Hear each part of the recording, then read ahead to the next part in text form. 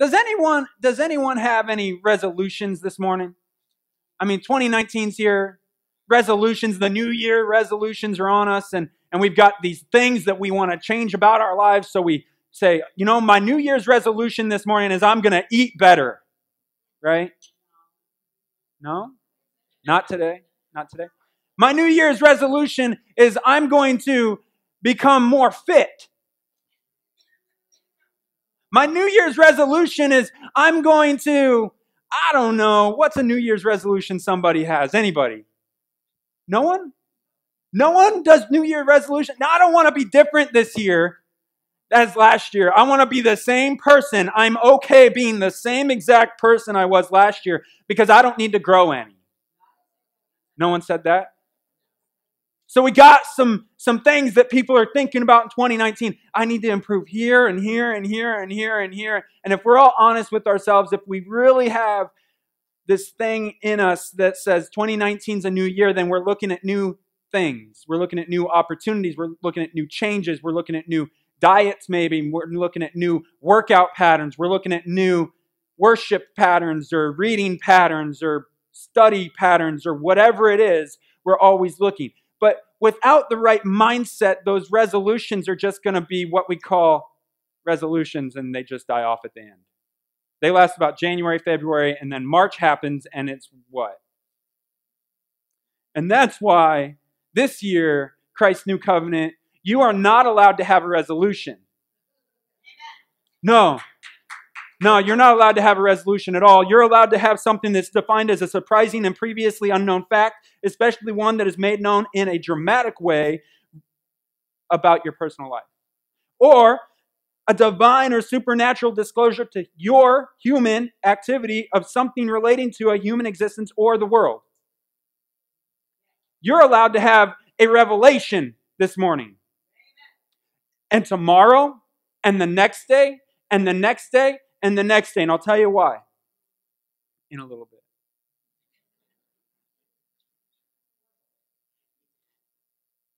When God lets you know something from the Word, it is always going to be a surprising new light bulb moment.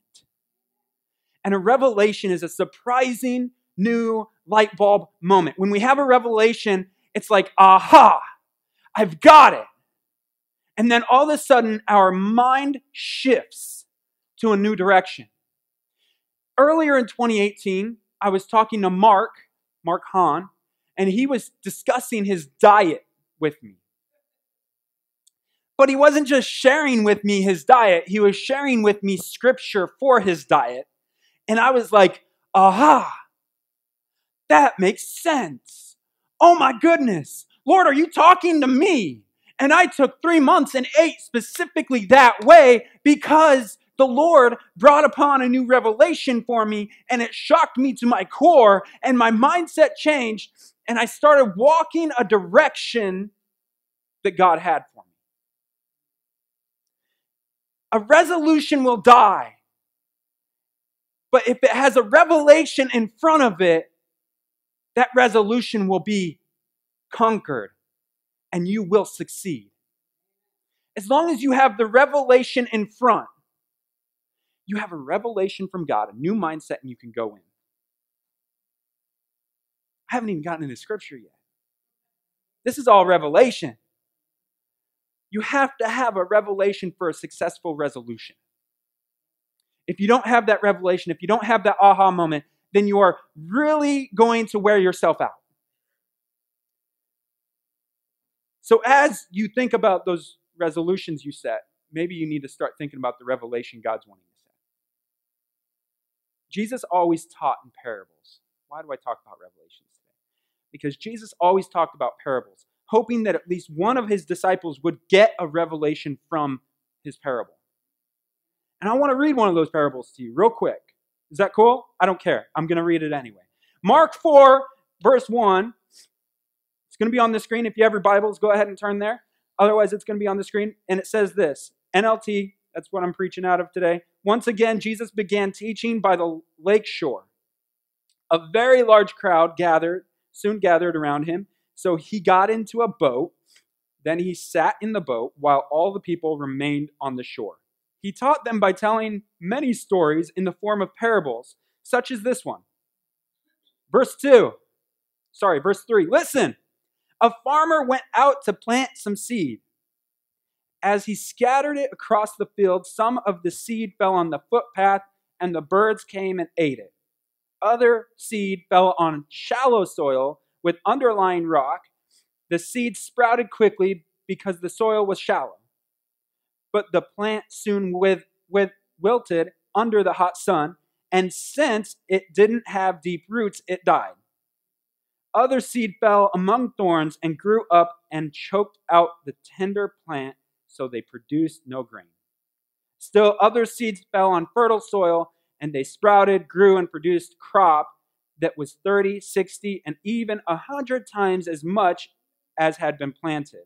Then he said, Anyone with ears to hear should listen and understand. How many of you this morning have already gotten a revelation for your 2019 out of that scripture?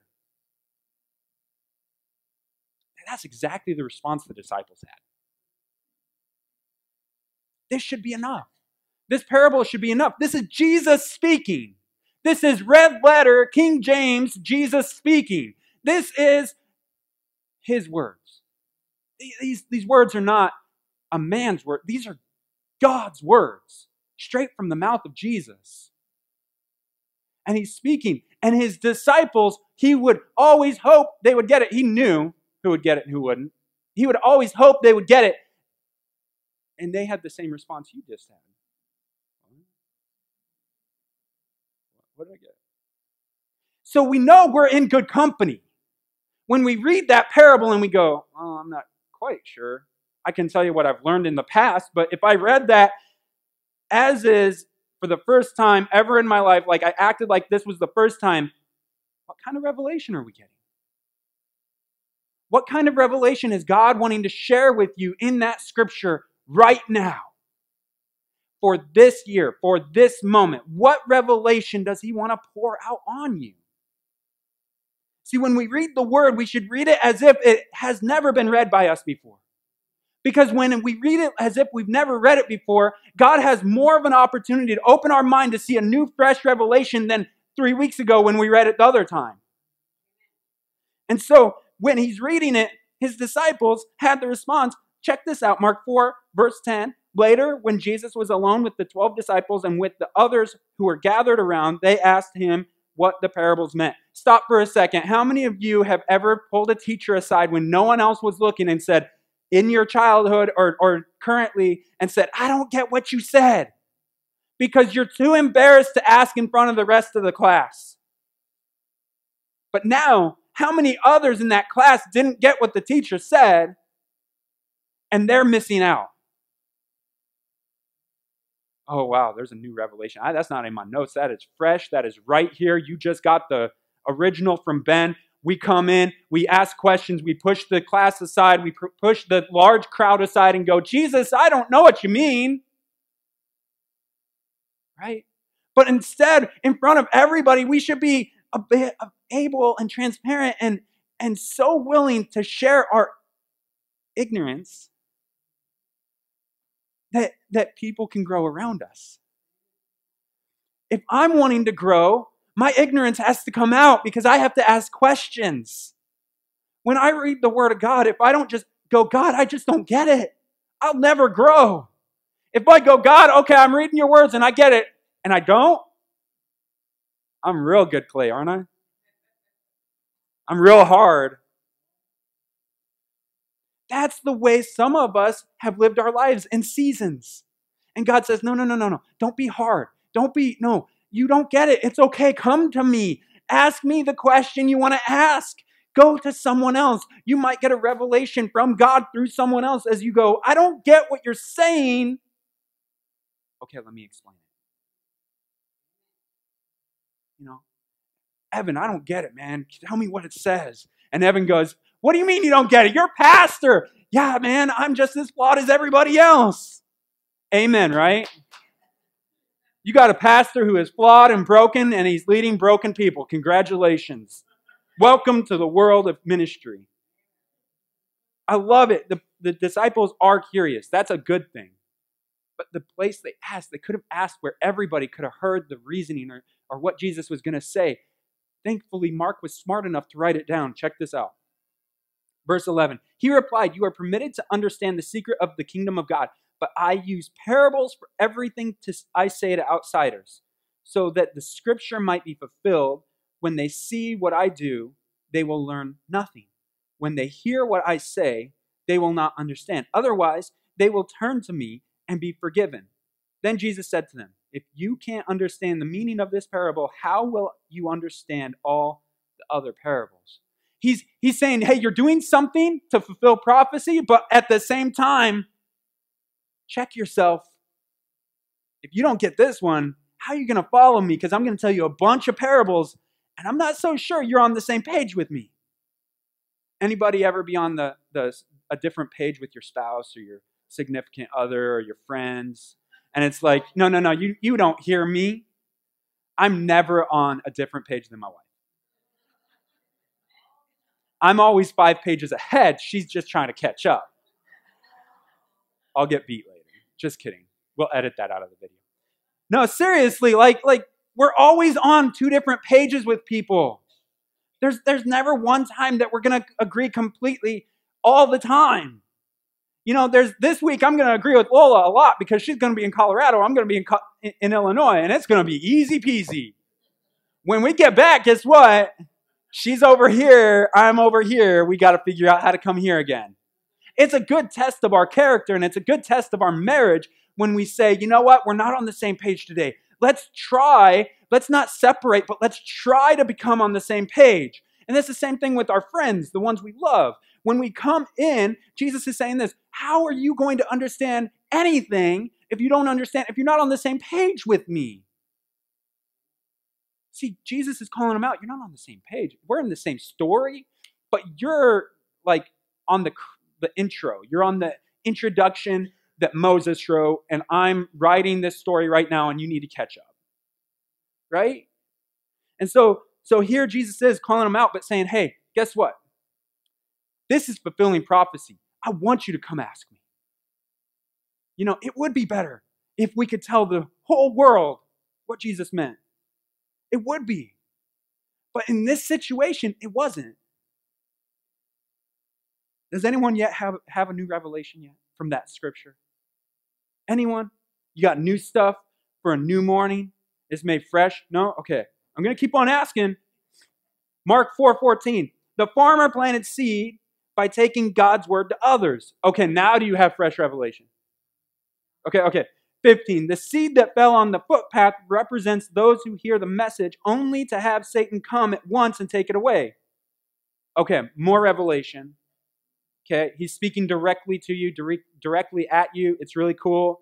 The seed of on the rocky soil represents those who hear the message and immediately receive it with joy. Anybody ever in your life ever hear the, the salvation story? Jesus Christ, He came, He died on the cross for you. He, he didn't just die on the cross for you, but to take your sins away. And then He was crucified on the cross, right? And that represents Him taking the sin. And, and then He is raised back to life to give you that same eternal life that you would know him forever and ever and ever and ever and have many, many more opportunities where there's more sin, there's more grace, blah, blah, blah, blah, blah. I could go on, I could go on, I could go on. Did you ever have that revelation that that was for everybody? Did you ever, ever sit there and go, I'm going to accept that right now? And day two, you're like, oh, I don't know, did I make a good decision?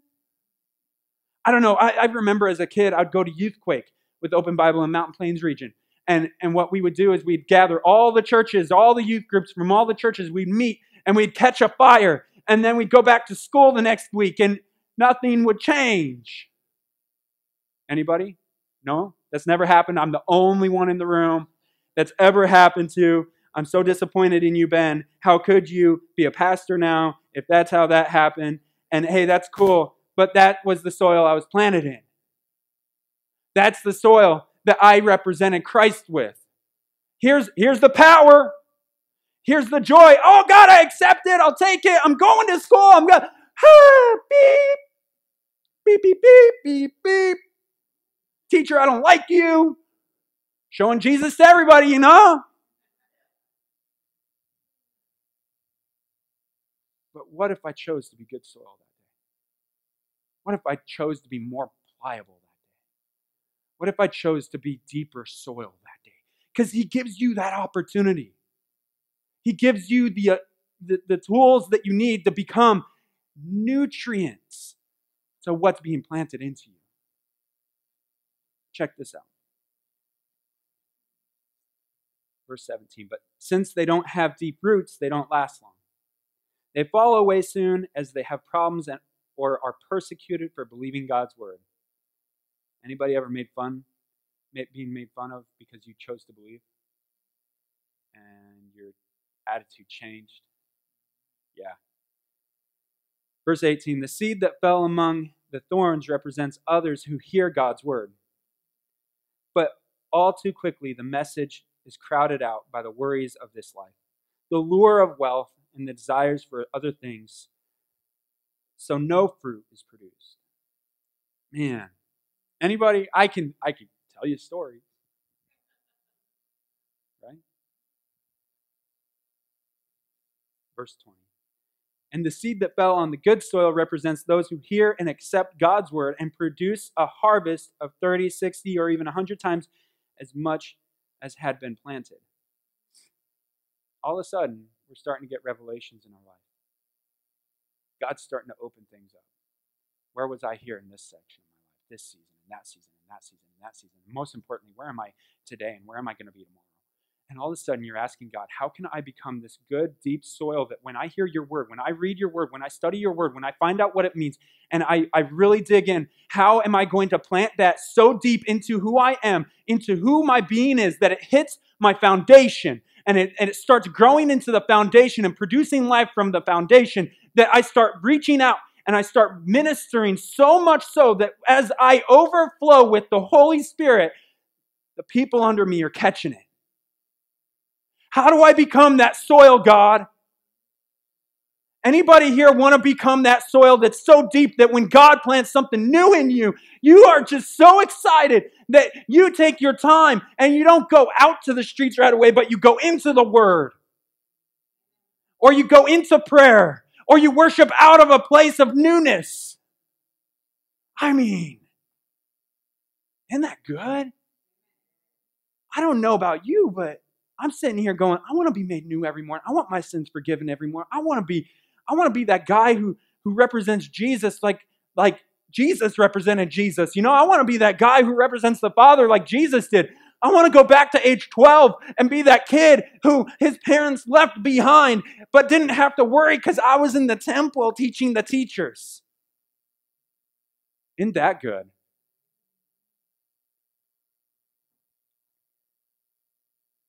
I have one reason for being here. I have one purpose for being here. And out of this scripture, if all you get is that I have one reason, one purpose, yourself, and, and, and we have one reason and one purpose for hearing this, is to reach the lost for the glory of the King who loves us and serves us. That's all you need. That's all you should have. But maybe that's not what you get. Maybe you get something else. Maybe you get something that says, I just need to be planted in good soil finally. I just need to find that soil and become what God always dreamt I would become. I read a, I read a quote. Was it Dick Van Dyke that said this? No, it wasn't. Dick Van Dyke said another quote. There are no sure answers, there are only better questions. This quote that I want to say, now I forgot it because I, Dick Van Dyke, he gets in your brain, you know? We come so close every time when we're planted and, and, and say we, we don't realize what's around us or we don't realize what's under us and, and we have not so deep soil. And we hear something, we go, oh, that's good, and we write it down and then we forget it. You know, God, God is wanting to break into your mind and reveal something to you. And that's good. Anybody want God to break into your mind? Everybody goes, nah, because then he sees my sins. Uh uh-uh. uh He already knows those, so get over yourself. But don't you want him to break into your mind and set you free from the trials and tribulations that you are going through in your mind, or, or maybe that you're going through throughout the day or throughout the week. Maybe you want God to break into your mind and set you free from yourself. I love that. Anybody get the revelation? Yeah, I'm good soil now. I'm in good soil. The revelation that changes your mindset. Like tomorrow, you're going to wake up and go, Lord, I want to be nutrient full and I want to grow a vineyard that produces fruit today. I want to be a whole crop of a farmer. I want to plant an entire crop for you, God. And at the same time, I want to nurture them. I want to give them the nutrients that you're giving me, but I can't do it unless I'm deep soil, God. Anybody want to be deep soil? Man, that sounds dirty, doesn't it? Good dirty. Like dirt under your fingernails dirty. That's exactly what it is. That's good dirty. Jesus wants to reveal to us new life this year. And it's in the deep soil, it's not in the shallow soil, it's not in the thorny area of your yard. It's not in the weeds, it's not in the water grass, ladies and gentlemen. I didn't know about that until I came here. You know what I'm saying? It's not in the it's not in the things that overtake your yard. It's in the things that are supposed to be produced in your yard. It's in the peas and the beans and the broccoli and the do I dare say Brussels sprouts. It's in that. It's in the life giving nutrients that we put into our body. It, it, that's our crop spiritually. And we have to nurture that. We have to grow that. And God is saying, Jesus is saying to us, this year. You are new this year. 2019 is not about the resolutions, it's about the revelations so that you can create the resolutions and not just have a resolution that you just create, but actually follow through with. I have a resolution this year, I'm going to be more fit. Have I had the revelation yet? I'm working on it. I'll tell you what, I have another resolution. I'm going to eat as healthy as I did in 2018, if not try to be more hey, there's, there's room for growth there. But I want to be healthier, not only in my spiritual walk, but also in my physical walk. We're down to one car. Why? Because I can walk. I'm going to walk. I'm going to ride my bike. My goal this year is 100 miles one day on my bike. That's been my goal for the past five years. But I just want to do it. Why? Because it's good for me. I'm not saying it's good for you, I'm saying it's good for me. Check this out Lamentations 3, verse 22. The faithful love of the Lord never ends, his mercies never cease. Great is his faithfulness. His mercies begin afresh each morning. I say to myself, The Lord is my inheritance, therefore I will hope in him. It doesn't matter what you've done today, tomorrow is new. It doesn't matter how much you've gone off the deep end, tomorrow is new. But you have to have a revelation that today is new as well today you leave here it's new it's fresh it's it's revealing it's trans it, it, it's taking you into a new area of your life you have to walk out of here going i'm made new today. I've made i've been made new this year. I've been made new tomorrow. I've been made new. I'm having that revelation that i get to be new every morning. Even in lamentations in the old testament they knew that. Now you have jesus. How much easier is that? Paul even says it later in, in, in Scripture that, that we are made new every morning. We are made new every morning. You, you know, talking about being made new, you got to think about being old. Anybody ever shoot an arrow? Do you know what they call missing the mark in archery? S Y N. It's pronounced sin sin. It's one sin, two sin, three sin for how far off you were. Do you know that means missing the mark? And so when we miss the mark today, God says in Romans, where there is more sin, there is more grace. So when we when we miss the mark in our journey today, he comes in and says, "Hey, that's all right, come back to me. Come back to me. I can forgive you." I just want your time. I just want your, your money. I just want your house. I just want your family. I just want whatever everything is to you, that's what he wants. That's all. No one's laughing. That's good. We're all taking that serious.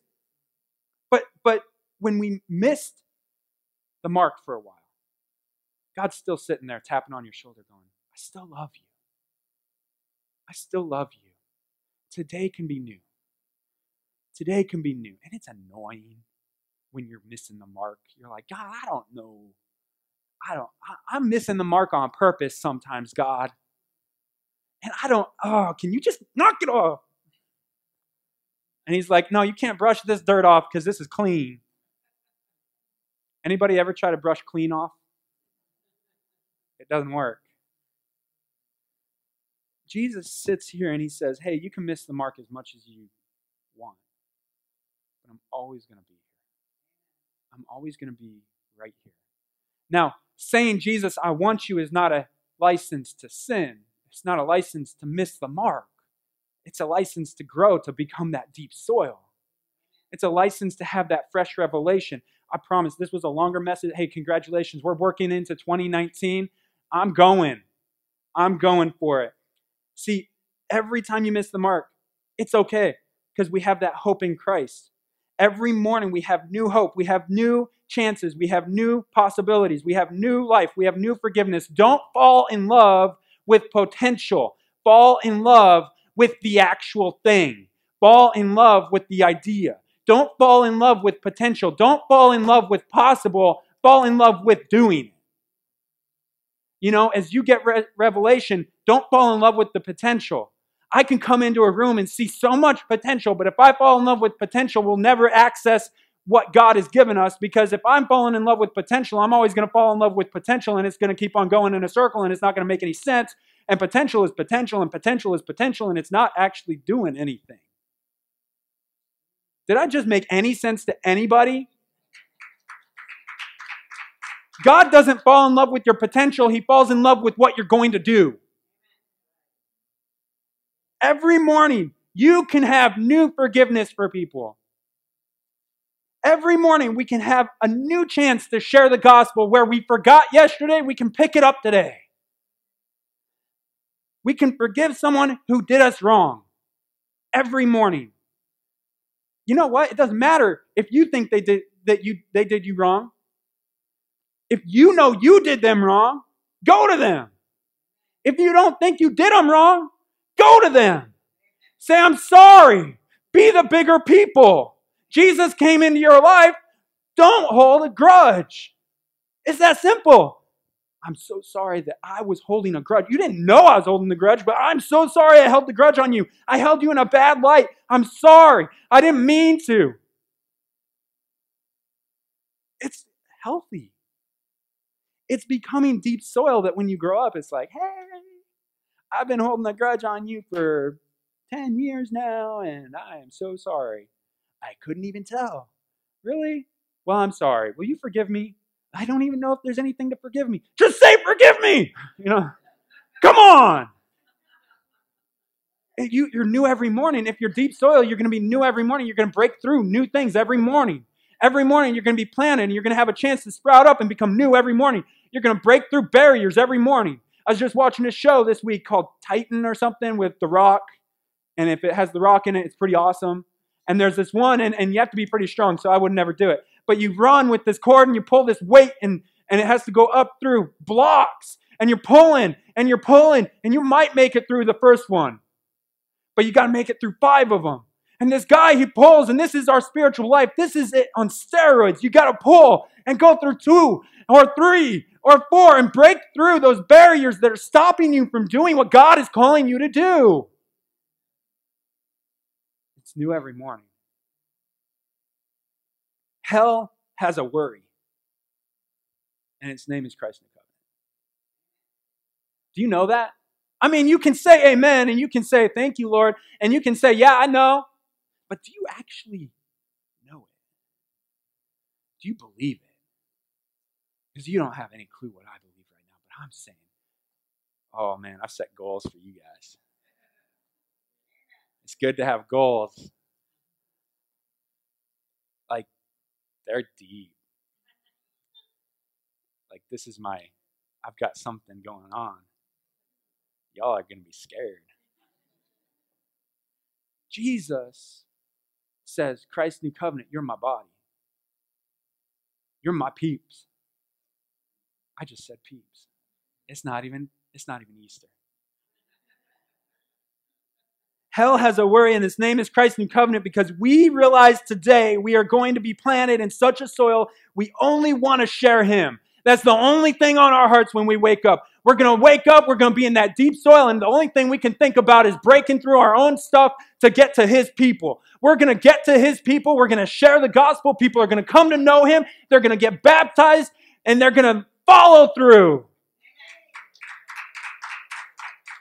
But it's not just Ben's passion. It's yours. I can't go and, and say what I need to say to everybody. The Holy Spirit can, but it requires a people. A people that aren't tired, but are energized through the revelation that God's given them. Joshua 4:22.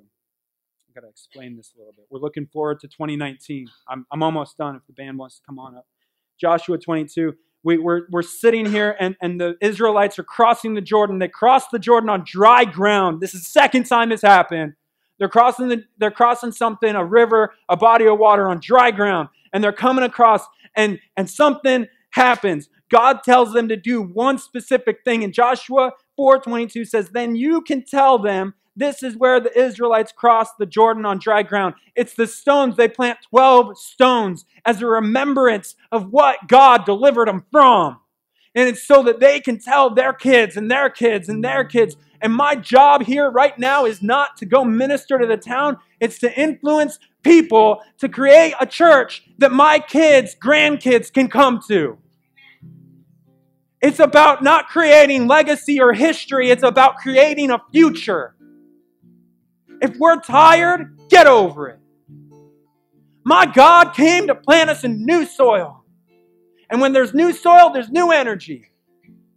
Oh, man, that, that, oh, I didn't plan on doing anything this week. God, now you come and you talk to me, and I, I gotta, I gotta change my life. I gotta change my mindset. I gotta have a new, fresh mindset so I can be planted not in the soil on the reservation, but in the soil that's well nourished in Illinois. We got some good soil around here, don't we, Mark? We got some great soil around here. You're in Illinois, start acting like it. Seriously. You're in the center of the United States, start acting like you can reach somebody.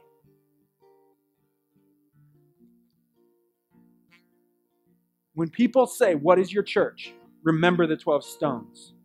My church, my church is a place you can live your purpose. You know what our mission is for 2019? Be kingdom minded and gospel advancing. We're kingdom minded because we're building the kingdom of God in each other.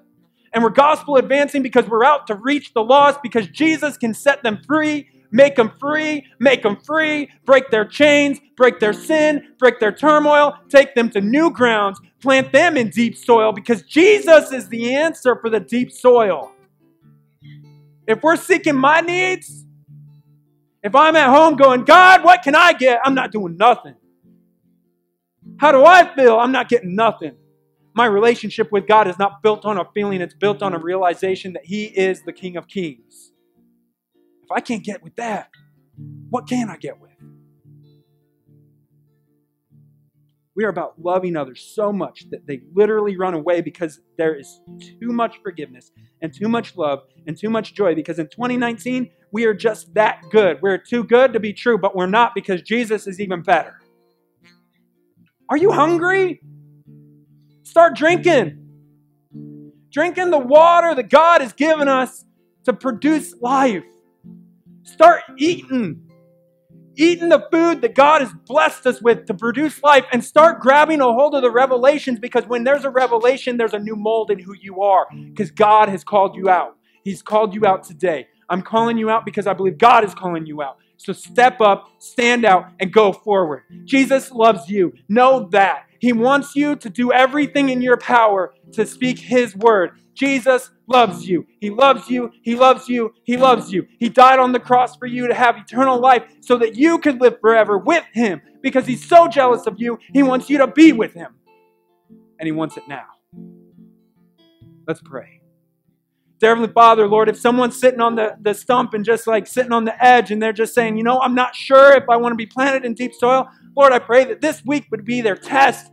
This week would be their, their revelation, that this week they would have a new mindset that says, I want to be planted in deep soil, that says, I'm not about me anymore, I'm about you, God. What is it that you want? How should I talk? How should I approach people? How should I go forward with your name on my lips? Because it's not about I anymore, it's about you.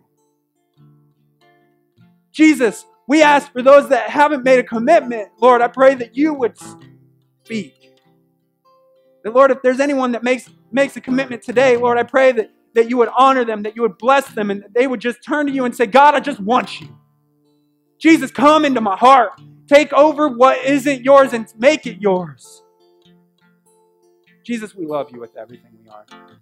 I'm so glad that you prayed in the Garden of Gethsemane so passionately that you bled.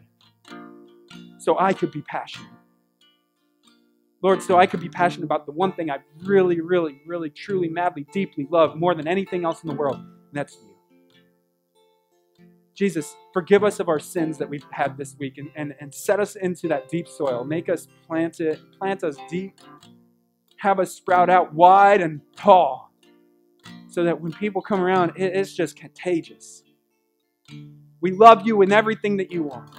Jesus, thank you. Amen. Hey, let's worship out. We're going to do two songs. We're just, can you put your passion where your mouth and arms are and just worship God? Just, oh, just go for it. Just like it's a sports activity or something. Like the Cowboys just won their first playoff game in a couple years. Yeah, that's what I'm saying. Praise Jesus. That's come on, let's worship.